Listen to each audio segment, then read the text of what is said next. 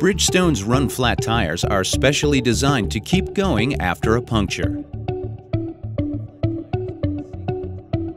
When a Run Flat tire loses air, it relies on the internal sidewall supports to carry the weight of your vehicle.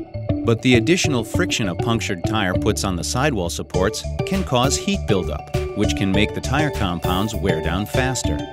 Bridgestone engineers recognized that heat buildup in run flat tires is a big challenge, so they developed an innovative solution cooling fins. When air moves across the cooling fins, the fins disrupt the airflow and create turbulence that carries away heat and cools the tire. The end result? Tires with cooling fins experience reduced heat buildup and lower temperatures than tires without cooling fins. Cooling fins, another example of innovative Bridgestone technology engineered to empower your journey.